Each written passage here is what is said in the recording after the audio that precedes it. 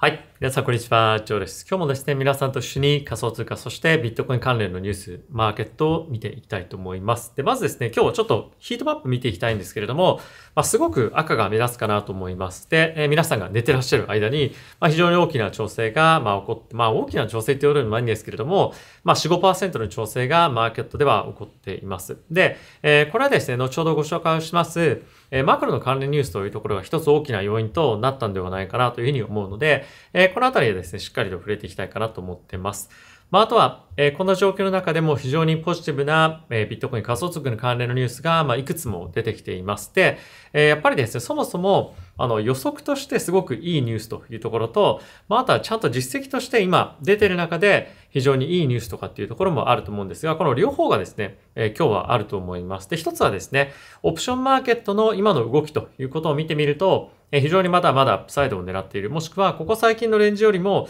さらに高いアップサイドをえ狙っているというのが、えわかるのかなと思います。で、もう一方で、えまだ確定要素ではないんですが、予測として非常にポジティブに見られているというのが、ま今後ですね、数年で仮想通貨のマーケット規模というのが、ま今のですね、3倍から4倍ぐらいになる可能性があるんじゃないかっていうふうに言っているレポートが出てきました。まあ、これらについて、え今日はですね、皆さんと一緒に触れていきたいと思うのと、まあ、とはですね、今すごくマーケットで注目されているニュースの、あすみません、プロジェクトの、え関連ニュースがですね、出てきているので、まあ、今日はですね、そちらについても皆さんと一緒に見ていきたいかなと思っています。まあ、あとは連日ですね、ご紹介をしているんですが、まあ、いろんなデータだったりとか関連ニュース、そして、マクロニュースも含めて、この上の QR コードや概要欄の方にもあります、テレグラムのグループで、えー、毎日毎日皆さんに情報をですね、更新させていただいております。で、こちらについては、僕は最近買ってる銘柄、売ってる銘柄もそうですし、まあ、こんなデータすごい面白いのありますよというのも、えー、まあ、僕は Twitter とかでも発信してないものも含めて、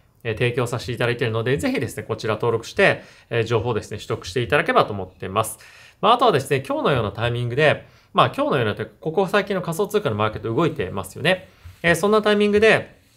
まあ、やっぱりちょっと自分で買っていくのが怖いな、高すぎるなとか、まあ今また落ちてきてるので、まあこのタイミングで入るのちょっと怖いな、どうかなっていうふうに思ってらっしゃる方もいらっしゃると思うんですが、えー、以下のですね、僕の概要欄のリンクの、えバービットのあのリンクからですね、講座開設をしていただいた方限定なんですが、今ですね、入金キャンペーン、これはもう新規もすでにもう既存の方もすべて対象になります。で、最大でですね、1500ドル分のボーナスもらえるキャンペーンもやってます。で、追加で新規でですね、口座開設をしていただいた方については、これ2つ特典あるんですが、100ドル入金していただくと、500ドル分の先物取引をですね、できるポジションというものをプレゼントしてさせていただくというところに加えて、入金額に応じて最大450万円の取引ボーナスがもある。もうこれ入金をいくらしたらどれくらいもらえるかっていうのはちょっとこんがらがってしまうんですけれども、まあ最大で450万円の取引ボーナスが新規の方はもらえて、もうすでに口座持っていらっしゃる方についても入金額に応じて最大1500ドルのボーナスがもらえるということで、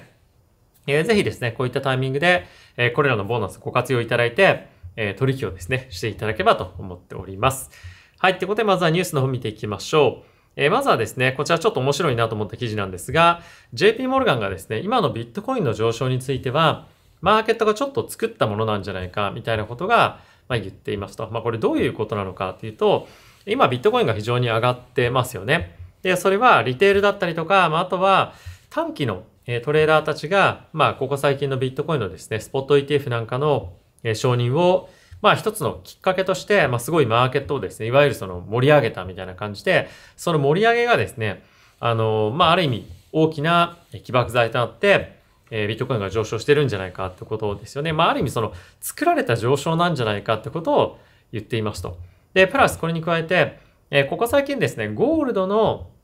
ETF っていうかところから資金が流出してるんですね。これがゴールドから資金が流出してビットコインに流れてるんじゃないかってことを言っている人も非常に今増えてるわけなんですが、まあ、これですね、実は違うんですよということを、え、言っていますと。まあ何の観点で違うのかっていうのもちょっとこれ大事だなと思うので皆さんにちょっとご紹介したいんですけども、えそもそもビットコインが今上昇していて、えゴールドの ETF が下がってるっていうのは、ま事実なんですね。で、こちらの黒の線がですね、ゴールドの ETF の、え資金の、ま状況なんですけれども、まあ、今どんどんどんどん資金の流出が、え続いているというのは、まあ、ここ数年の流れとして、え事実ですね。なので、ビットコインのスポット ETF が承認されたからといって、え ETF のですね、ゴールドの、え銘柄からまあ資金が流出しているというのは、まあ違いますよと。えただしその一方でこれすごいな、面白いなと思ったのが、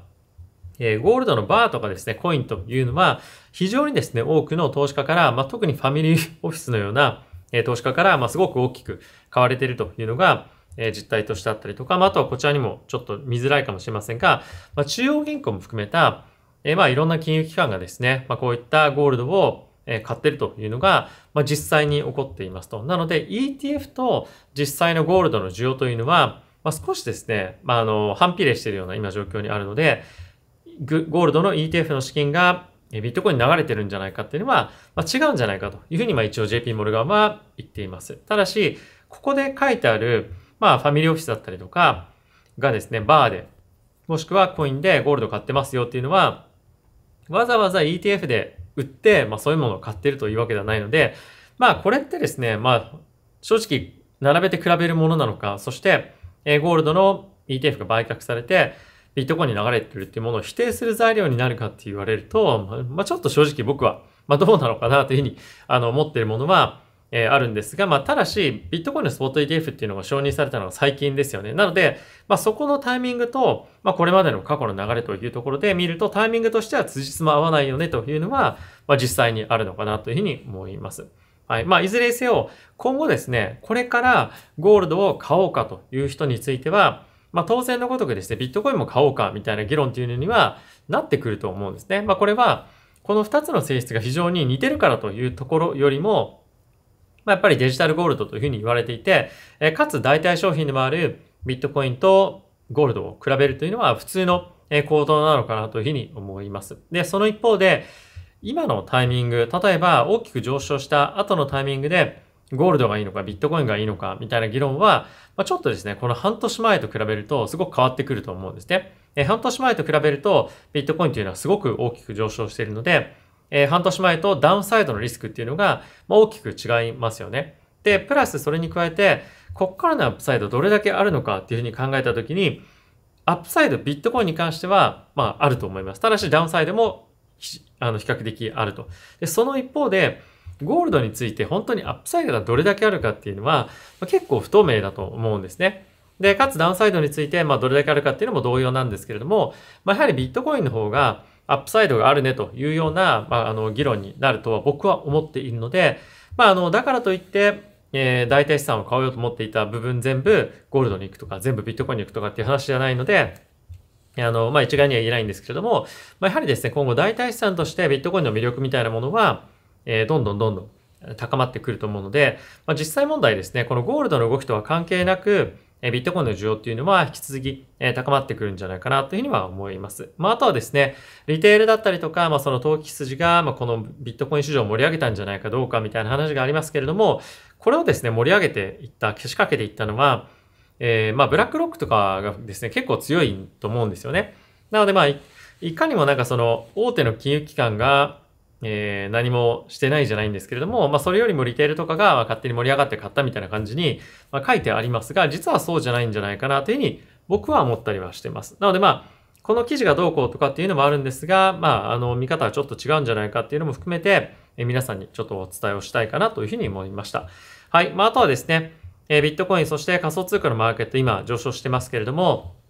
2022年に、え暴落したマーケット全体の損失というのが、まあ、大体127ビリオンあるというふうに言われているんですが、まあ、昨今のですね、上昇で、えー、38ビリオンのですね、回復をしたというふうに言われています。で、えー、今後ですね、もっともっと上昇するんじゃないかというふうにも予測されていますが、まあ、実際問題ですね、今、このマーケット環境で、もしくは昨年のタイミングで、えー、リスクをですね、取っていった方々については、非常に大きなリスクが、あの、リターンが得られていると思うと同時に、今買っても、えー、おそらくですね、今年、そして来年にかけて、非常に大きなマクロ的な、そしてビットコイン特化の、えー、プラスの要因というのはですね、まだまだあると思いますので、まあ、それがさらにクリプトマーケット全体を押し上げていって、えー、この127ビリオン分のロスというものは、まあ、一旦はですね、どこのタイミングで、えー、まあ、カバーされるんじゃないかなというふうに僕は思っています。で、問題なのは、そこからさらに上昇していくのかというところに加えて、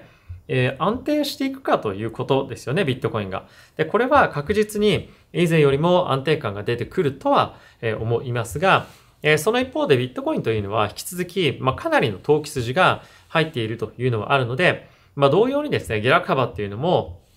上昇幅同様に非常に大きいのかなとは思います。で、ただし、え大手の金融機関が、まあ、さらにどんどんどんどん入ってきたということもあって、えダウンサイドのですね、え幅みたいなところは、え少し、ま小さくなる。あの、以前まで、以前と同じレベルまでは落ちないんじゃないかなというところに加えて、まやっぱりですね、えより大量の資金が入ってきやすくなる、もしくは間口が広くなってきたということもあるので、えダウンサイドの弾力性、いわゆる大きく押した時の反発の力みたいなものは、え以前よりもですね、強くなるんじゃないかなというふうに思っているので、まあ、今後ですね、この損失がえさらにカバーされて、まあ、大きくまた上昇、そして落ちたとしても、えダウンサイドの強さみたいなところは、まあ、かなり強くなってくるんじゃないかなというふうに僕は思ってます。はい。まあ、あとはですね、これもすごく面白いなと思ったんですが、えグローバルでクリプト関係の、いわゆる金融商品ですね、が100ビリオンをですね、え、超えたと。AUM というのはアセットアンダーマネジメントというふうに言われているんですが、よく金融機関がですね、どれだけのアセットを、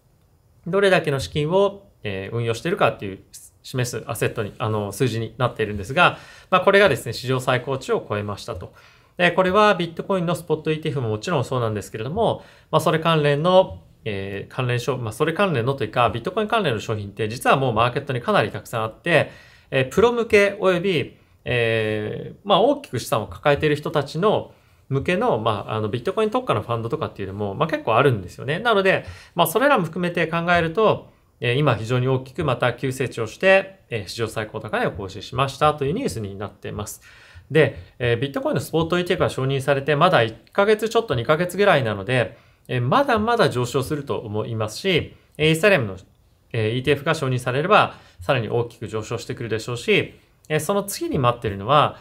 ソラナのですね、ETF だと思うんですね。なのでそういった、期待感というのも出てくると思うので、えクリプトに関しては本当にもっともっと大きな材料が、え今後、まあ、軒並み出てくるような市場環境に、マーケット環境が良ければなると思うので、え大きな上昇が引き続き期待をできるんじゃないかなというふうに僕は思っています。はい。で、続いてなんですけれども、え、こちらがですね、先ほどちょっと話にあった、え、ビットコイン及び仮想通貨のマーケット環境が今から3倍から4倍ぐらいになるんじゃないかっていう話なんですけれども、バーンスタインというですね、えー、世界的にも非常に有名な資産運用会社があるんですが、そこがですね、2025年の末までに、えー、7.5ビリ、5トリリオンまでマーケットサイズが行くんじゃないかってことですね。で、今のタイミングでマーケットサイズっていうのはだいたい2.5トリリオン US ドルぐらいなんですけれども、えー、これがですね、3倍ぐらいまでは一旦行くんじゃないかってことですね。で、上昇の、まあ、あの、大きく寄与するそのトークンに関しては、ほとんどがビットコイン、そしてイーサというふうに言われています。で、その後もちろん、えー、諸々のいろんな、えー、トークンが紐づいてくると思うんですけれども、まあ、やはりこの二大巨頭がどこまで伸びるかというのがマーケットサイズに、えー、一番大きな影響を与えるというふうにも言われていますし、今年、そして来年に関しては、えビットコインやイーサの ETF が承認あると。まあ、あの、かなりあるんじゃないかというふうにも言われているので、まあ、そのあたりがですね、大きなマーケット規模という観点では、えさらに、えー、まあ、引っ張っていってくれるんじゃないかなと思います。はい。まあ、あとはですね、この7.5トリリオンまで、え上昇するということは、まあ、幅広いアセットクラスというか、アセットの銘柄が、ま買われないといけないと思うんですけれども、今年はですね、あの、皆さんもご存知の通り、ビットコインの ETF もありますし、えー、イーサレムの ETF もありますね。まあ、それ以外に加えて、あの、D ピンというですね、まあ、新しい領域、まあ、あの、ちょっと前のプロジェクトで言うとファイルコインとかもあるんですが、まあ、いわゆるこれまで、えー、中央集計的に管理をされていた、え、インフラをですね、えー、分散型で管理しようと。まあ、そういったものが、えー、D ピンというものなんですけども、それがすごく今流行っていて、他にはですね、え、ビットコインのレイヤー2というところもあったり、あとはですね、何だったっけね、モジュラーブロックチェーンもそうですし、あの、まあ、いくつか他にも、え注目されているポイント、まあ、あると思うんですけれども、これまでよりも幅広い領域で、えー、まあ、いろんなその、いわゆる強く相場というかバブルみたいな状況が今、えー、起きつつあると。なので、これまで注目されていなかった領域の、えー、プロジェクトにまで、まあ、そういった波及効果がどんどんどんどん今出てくることによって、えより我々が投資できる対象の、まあ、いわゆるセクターがですね、クリプトの中でも増えてきているということで、まあ、これはですね、マーケット全体のキャパ、キャパシティ、もし、および規模が、ま大きくなる一つの要因になってくるんじゃないかなと思うので、まあ、こういった大きな上昇というのは、まあ、そもそもあり得るかあり得ないかっていうと、まあ、あり得るんじゃないかなと思いますし、まあ、そういった、えこれから新しくですね、あの、注目される領域がもっともっと急速に大きくなることによって、この7.5 million というところをさらに大きく超えるような市場規模に発展する可能性もあるんじゃないかなと思うので、えそのあたりについてもですね、皆さんに、まあ、定期的に、えご紹介をさせていただければなというふうには思っています。まあ、そういったところについてはもちろん、えテレグラムのグループの方で発信をしていきたいと思いますので、え登録ぜひよろしくお願いいたします。はい、続いてですね、え今日ですね、久しぶりにイーロン・マスクさんが同時コインについて言及しました。これはどんなことを言ったかっていうと、テスラをですね、え同時コインで買えるようになるのか、そんな質問がですね、あの、投げかけられる局面が今日、あの、テスラ関係のイベントであったわけなんですけれども、えそこで、まあ、あるタイミングの時に、え同時コインでもですね、買えるように、まあ、するよ、みたいな感じの、えことをですね、まあ、あの、お気軽に、ま言っていて、本当に実際になるかっていうのはちょっとわかりませんが、まあ、そんなことを言っていたということもあって、え、今日ですね、同時コインが、まあ、ボーンと、まあ、一瞬ですが、ちょっと上がってましたね。まあ、ただし、これまでのような、まあ、今日大きく下がってるっていうのもあるんですけれども、あの、非常に大きな、え、上昇にはなりませんでしたので、え、徐々にですね、まあ、あの、イーロン・マスクさんの仮想通貨マーケットへの影響みたいなところは、まあ、実際はそこまで大きくないのかなと、まあ、ちょっと落ち着いてきてるのかなというのは、え感じられるんですけれども、え引き続きですね、テスラも、えビットコインまだまだ持っていますし、今後追加的に買い増しをしていくという可能性にも、え言及をされていたので、まあ、そういったところの動きがまたあればですね、ビットコインに対して、もしくは仮想通貨全体に対しての動きも、えプラスもしくはマイナスで、まあ、大きな影響をもたらされるんじゃないかなと思いますので、まあ、引き続きこのイーロン・マスクさんのコメント目が離せないなというふうには思っています。はい。まあ、あとはですね、注目のプロジェクトといえば、今年非常に注目されているのが、えー、EBM コンパティブルの、まあ、モナード。まあ、何を言いたいかっていうと、えー、まあ、EBM ですね。まあ、例えばイーサレムとか、アビトラムとかともある程度互換性があるレイヤー1がですね、モナという、モナドというものなんですけれども、えー、これが、えー、1秒間にですね、まあ、1000のトランザクションを、えー、まあ、実行することができるような、まあ、ハイスピードのですね、え、ハイスペックの、え、レイヤー1なんですけれども、これが今、えー、デベロッパーの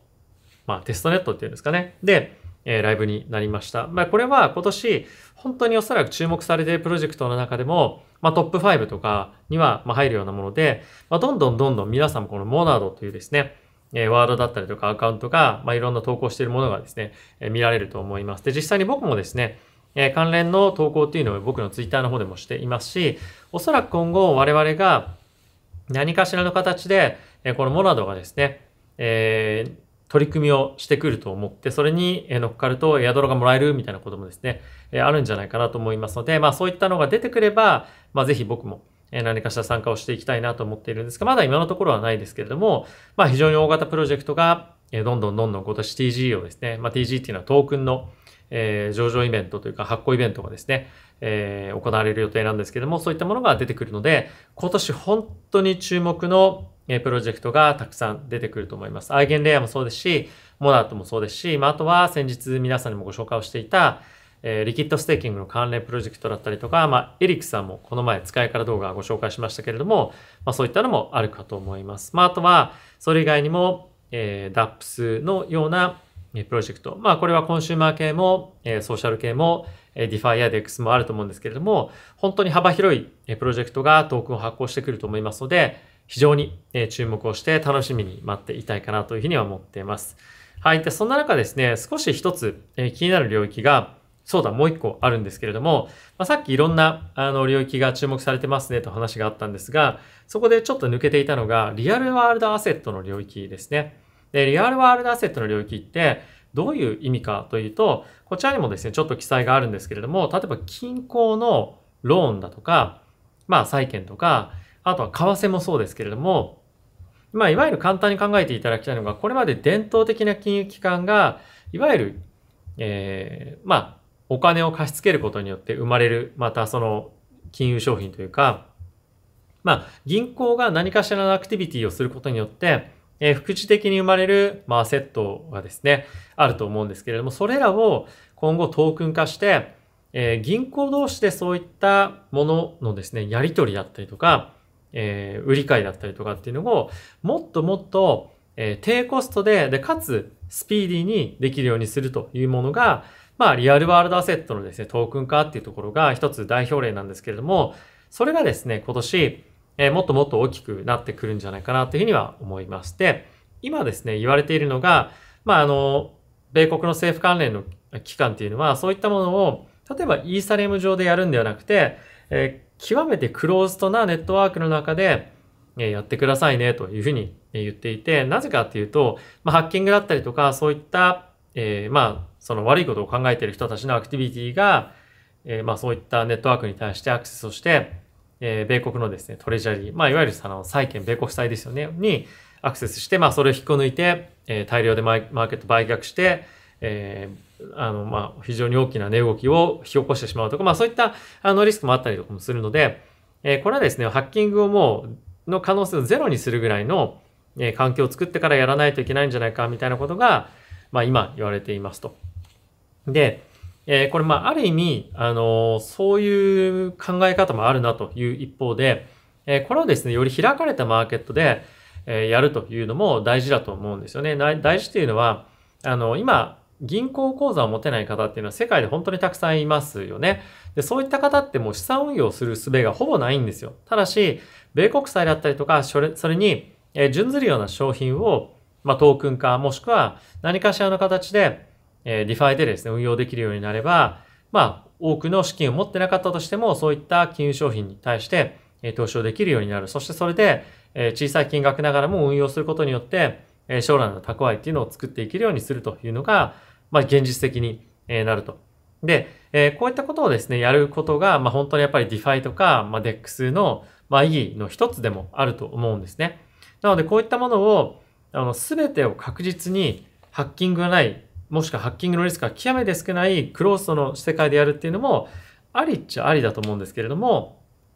まあ、それとは別に、えリアルワールドアセットに対して、え、我々のような一般市民が、我々もそんな米国債とか買わないじゃないですか。やっぱり、スプレッドも高いですし、手数料も高かったりするので、あんまりその、我々のような小さい金額で買う人たちが、まあ、米国債買っても、まあ、ETF だったらいいんですけど、あまりその、証券会社とか銀行で買っても意味ないんですよね。手数料負けてしまうので。で、それを、あの、ないように、まあ、作り変えていくというか、あの、新しい仕組みを作っていくという意味では、非常に大きな意味があるので、まあ、この、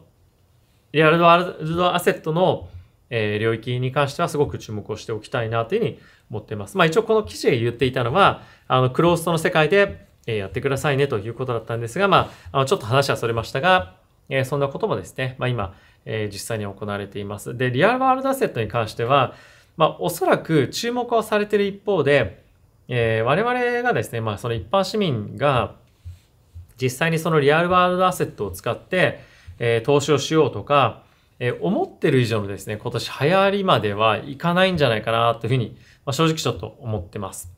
で、もし僕があるとすれば、為替とかですね、まあ、ゴールドとか、まあ、それに準ずるような商品が DEX でレバレッジをかけて取引できるようになるっていうのは、もう来ると思うんですね。で、そこぐらいまでかなというふうに正直思っていて、えー、さっき言っていた米国債の証券化だったりとかは行われるんですけれども、そのがマーケットで非常に重要な役割を果たしていくかっていうと、あの、さっき言っていたクローズとの世界ではあるかもしれませんが、オープンのこのマーケット環境では、まあ、ちょっとどうかなっていうのが今のところの僕の考え方かなと思ってます。まあ、その領域に関しては非常に重要で注目はされている一方で、えー、まだまだ発展途上だと思いますし、実際問題我々もそういった商品にあまり普段から投資はしてませんよね。なので、まあ、需要という意味では、えー、そこまで高くないのかなと。ただし、それが金融商品、まあ、金融機関投資の取引という観点では、えー、すごく重要にもなってくるので、まあ、そういった意味での、えー、今後発展というのが、えー、まずは中心になるのかなと思います。で、そこが当たり前になってくることによって、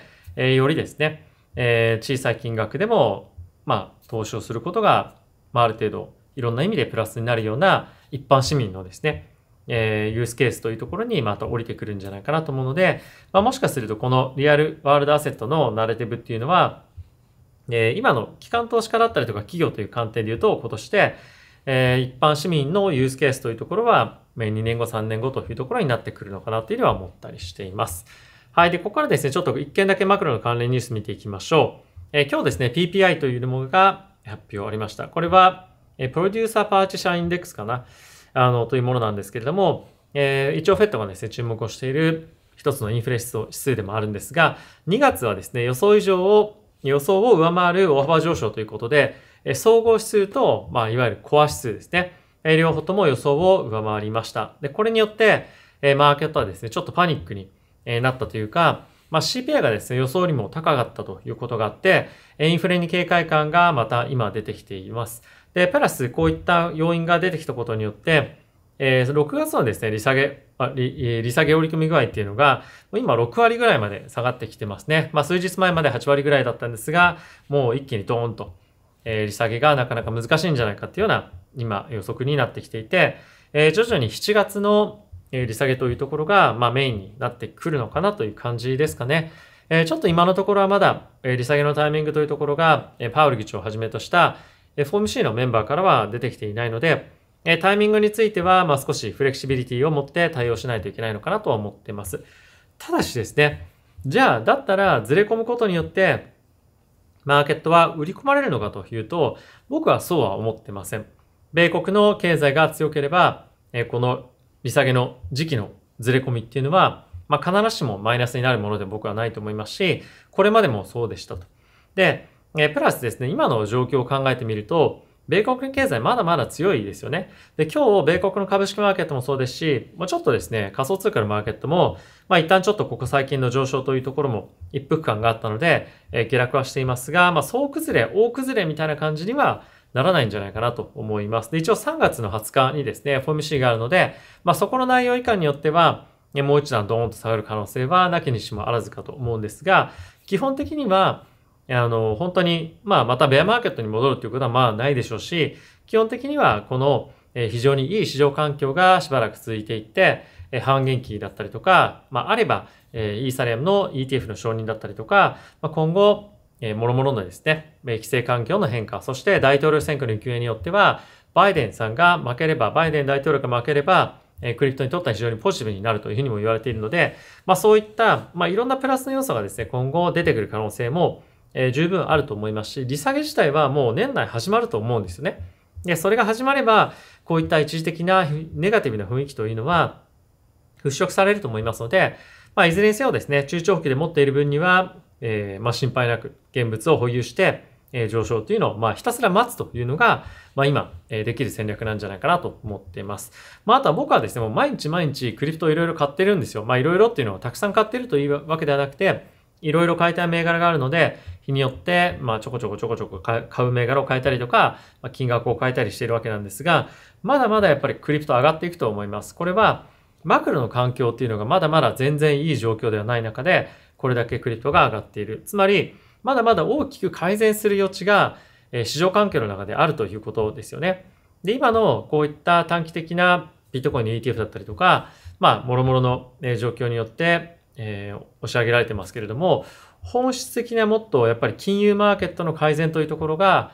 あの、この仮想通貨ビットコインのマーケットには本当一番大きな要因にプラスの要因になると思うので、まあ、そういった意味ではですね、まだ可能性が十二分にあると思いますし、今から買って遅いのかっていうふうにも考えている方もいらっしゃるかもしれませんけれども、まだまだ遅くないと思います。ただし、気をつけなければいけないのは仮想通貨もしくはビットコインというものはボラティティが非常に高いと。なので、ボーンと大きく、まあ、自分が買おうと思っている金額一括で買ってしまうと、まあ、下落したタイミングで自分の気持ちが萎えてしまったりとか、怖くなって、え上がる前に売ってしまったりとかっていう可能性も十分あるので、まあ、やはりですね、タイミングを見計らっていいところで買うんではなくて、ドルコスト平均法の形で、えボラティティの影響を最終的に自分が買うビットコインの、えー、まあ、平均の単価っていうところに対して、あまり影響がないような形で、